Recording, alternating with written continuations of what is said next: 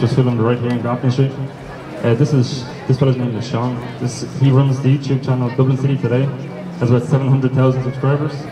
Um, he documents basically daily life in Grafton Street and uh, films all those buskers and stuff. So we're very grateful. Um, so as I said, this next song is a song called Falling Slowly. I sing the verse and Paul sings the chorus, and that's how we do it.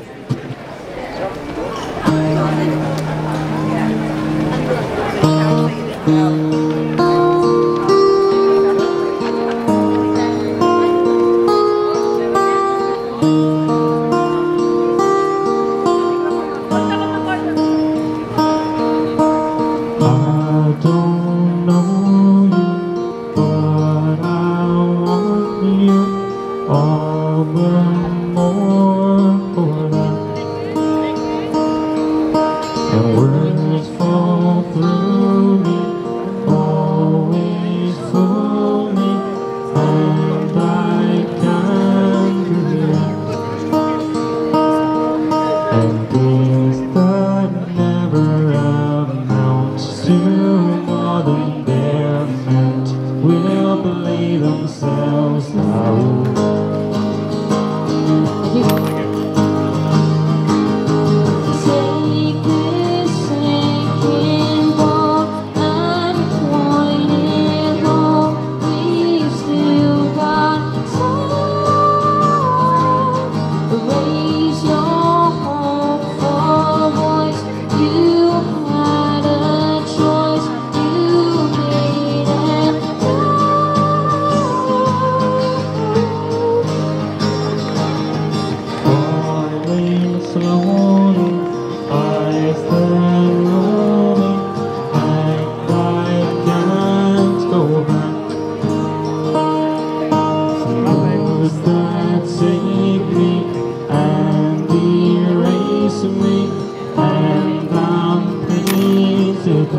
Thank you.